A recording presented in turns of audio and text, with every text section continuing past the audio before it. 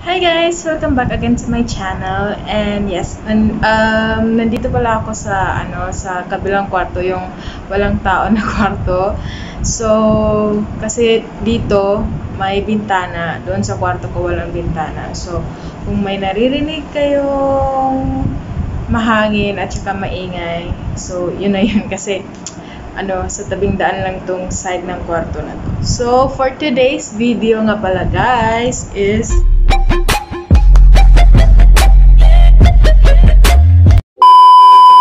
Itatry ko yung mga contact lens ng Uyay. So, may apat akong uh, iba't ibang klase dito, uh, mga color dito. Yung una is DNA Taylor Blue Gray, Wildcat Brown, Wildcat Blue, and Graphite. So, may apat tayo dito. So, guys, ang mura lang nito. It's only for 5 ringgit. So, ayun, mataas rin yung rating niya sa Shopee. Saan pa ba tayo bibili, guys? and may isa pala dito, guys, is nasuot ko na kahapon nung pumunta kami ni Mama sa um, pag-vaccine. So, I think mga 4 hours ko siyang ginamit or mga 5 hours ganon. Um, yeah, hindi naman siya, wala namang something wrong with the eyes. Um, okay naman siya on 5 hours. Hindi ko lang alam, more than 5 hours kung kakayanin niya ba on 8 hours na paggamit sa mata. So far, kahapon, ginamit ko siya for 5 hours. is okay naman. Wala namang something wrong. But still, you can um, feel na may ginagamit kang contact lens. So, di ba kasi ako nakatry ng mga mamahaling contact lens na sabi nila is parang wala ka raw ginagamit na contact lens. Hindi ko pa yun na-try. So, so, yes guys, yung una ko na lang ipapakita sa inyo is ito. I'm not sure how kung makikita ninyo dahil parang ano kasi dito ay parang uulan. yeah. Parang uulan talaga. So, yeah, sana nga lang makita niyo yung color. So, uunahin ko tong Wildcat Brown kasi na-open ko na to siya kahapon and yeah, nandito na siya. So guys, kapag bibili pala kayo nito, may kasama na siyang free na lagay ng contact lens. Pero yung ano lang, yung usual na lagay ng contact lens lang kapag bibili ka ng mga contact lens na mamurahin, mga ganun, mga ganun lang na case. So, so ayun. Let's start. Ano? O, dito. Ganyan na lang. Okay, yan. Ganyan yung color niya. Okay.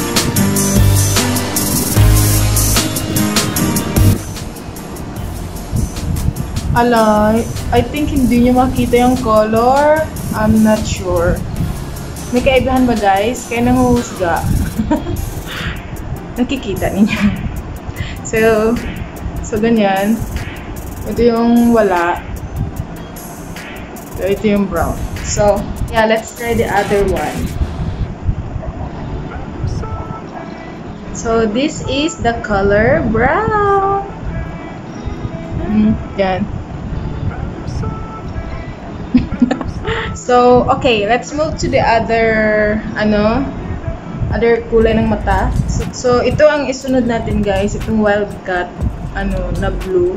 Excited ako dito guys. I'm not sure kung bakit ako excited dito but I'm excited for this. Ganito siya guys. Ito yung lagayan niya ha. Ito yung box niya. Tapos ito yung ganito yung ano. Ganito siya sa loob. Mm, hindi siya yung parang bottle-bottle.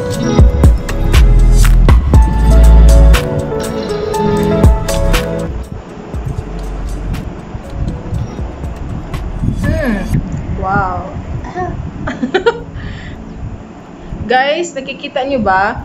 I think hindi niyo siya makikita. Parang parang nakikita ko sa camera parang gray pero hindi siya gray guys ha may pagka blue siya sa labas tapos yung sa may parang dyan yung bilog niyan is may pagka slightly na see sandali ako rin is nalilibog eh parang may pagka slightly gray na may pagka yellow parang gano'n naghahalo yung color niya pero yung sa labas, yung, yung bilog sa labas is blue. Oh, ganda.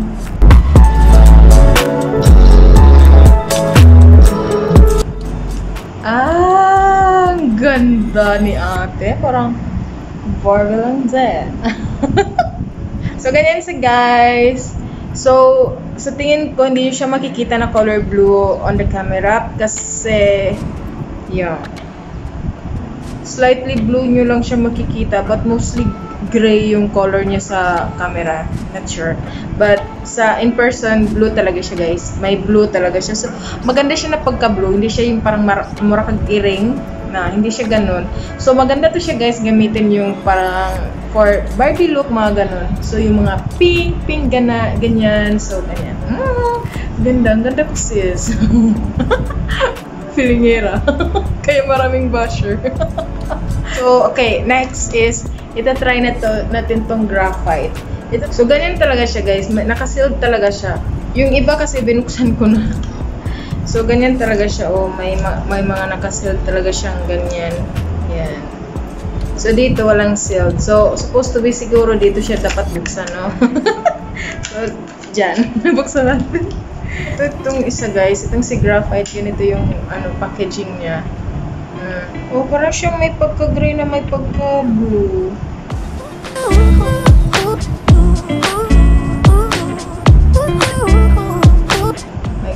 Hindi siya makikita guys kasi dito nga rin no, sa, sa mata ko parang parang hindi siya masyadong wala parang wala ka lang sinuot na ano yung parang kana ba to mura ka singalan na ha ano ba to?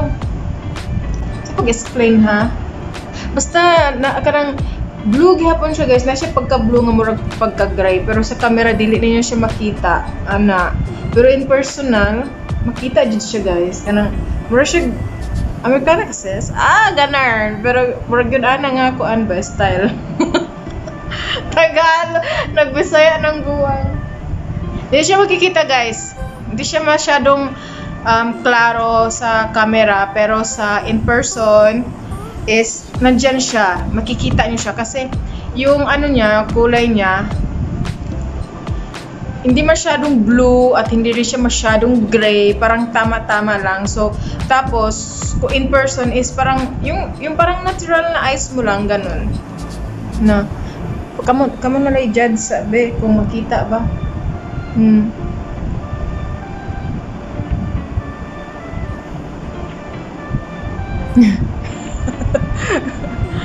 um, pwede siya for ev- pang everyday na ano, aurahan, ganun. Hmm.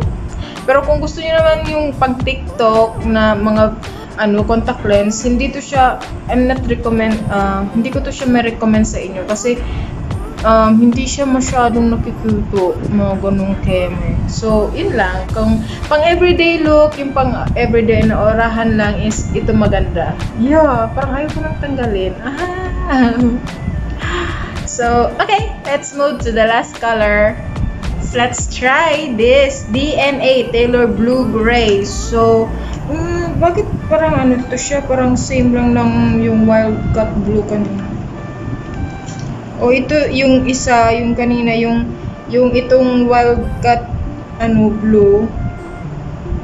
Yung bilog sa gitna is color yellow, ito is color gray.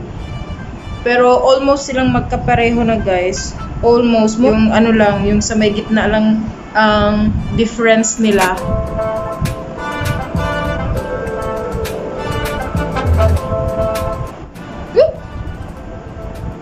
Maganda rin. Pero ito parang earring. Yeah. Blue rin siya guys. Tapos yeah, yung sa may gitna niya is gray talaga. Yung kanina may pagka-yellow yun eh. May pagka-yellow brown ganun.